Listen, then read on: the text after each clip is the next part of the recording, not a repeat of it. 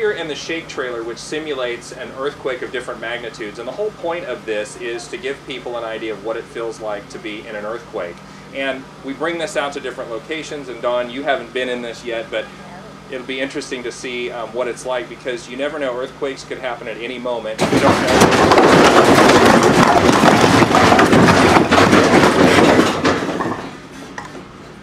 So we did exactly what we're supposed to do. That's drop, cover, and hold on. And you, what did you think of that? It's it's pretty wild. Uh, you don't.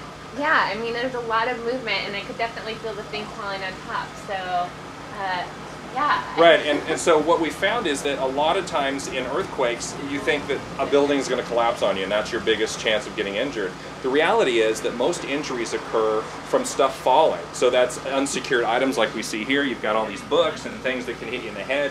You can have a big flat panel television come down. You could have you know, maybe a coffee pot or something off of the top of your refrigerator. So there's a lot of things that could cause an injury. So we tell people and we teach them when the shaking starts, you drop, cover, and hold on. And if you can, get underneath something. And like this case, we can't get under the couch. So it's just drop, cover your head, and hold on until the shaking stops. There's always a chance for aftershocks. You should be aware of that. And then after the shaking stops, that's when you take steps of deciding if you're going to evacuate or what you're going to do. Maybe shut off the gas because the gas main's now leaking. So it was a pretty wild first experience for me. So I have to say, um, you know, being new to California, that was my first time of even having something simulated that. Um, and it is definitely an experience of just even trying to get down to the ground. And, uh, but, uh, yeah, it's a, a very interesting experience. So glad I had the opportunity. All right, well, that's the Shake trailer. And in the next segment, we're going to be talking about what you should put in your emergency preparedness kit.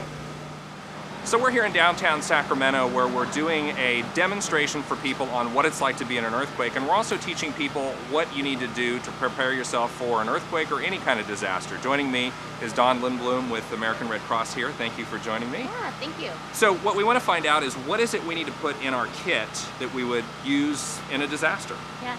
Well, what's really interesting, there's some really basic items that you want to have um, to be ready for an event. So some of the things would be like having a flashlight, extra batteries, batteries for the one and spares to have if something happens. Um, things like uh, making sure you have a three-day supply of water. Um, usually our general recommendation is a gallon of water per person per day. Well, that's important to know. Absolutely. Um, non-perishable food items, so um, something canned goods type of thing, and make sure you have your can opener. Yeah, that's um, really key. I know a lot of people are like, well, you're, you're going to be in your car and stranded somewhere or whatever, and you've got cans. How do you get in them, right? Exactly. That's that's really clever. Another thing is just um, some of the things that we don't always think about. We see this all the time at the Red Cross um, and emergency response, but make sure you have um, uh, your prescription drugs. You know, have an extra supply on hand. And if you don't have that, have a copy of actually your prescription in and of itself because that's another piece that, you know, we can get refilled or do something like that. But um, have that in place. Some of the other items, if you have infants, um, having uh, baby food and formula um, that's available and on hand. And another thing to um, think about is that you know you don't know in the event you know how um, you know how much injuries or how people might get harmed during the event. So make sure in your kit that you have a first aid kit um, so that you can administer that um, if anything happens. And um, so then you have that. Items. So in here, like, so here's like a little tiny first aid kit, and it doesn't have to be a big fancy one. You don't have to mm-hmm. get something that's cost you fifty or hundred dollars. No, just be. Just, just be a really basic one. It doesn't have to be um, any, like you said, anything too too huge. Think another, toilet paper. Toilet paper could be a handy item to have. You know, and people laugh about that, but it's true. You never know when you're going to get stuck, and you may need that, right? it is important to have. I think some other things, you know, a spare set of keys um, in case you need that access to your home or, or to that sort of oh, thing. I didn't think about that, right. So a lot of good things that you can have. Um, people can go actually to our website to find a full list of the type of items that you want to uh, do to um, make your own kit.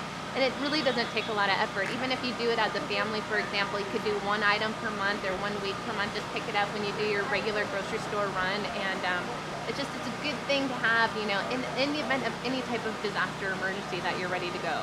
And that's great. These are great tips. And it doesn't have to be expensive. You could just go around your house and just pick some things and put it in a bag and have it ready to go for whatever the disaster may Absolutely. be. Absolutely. All right. Well, thanks, Dawn. Thanks for showing us. And if you want more information, you can go to the American Red Cross website, which is Uh, www.redcrosscrc.org. And then we also have totallyunprepared.com, which is a place you can see some videos and some other ways in which you can prepare yourself and your house and secure your items if uh, you're going to be in, uh, in an area where there might be an earthquake, which is basically all of California. Thanks for joining us.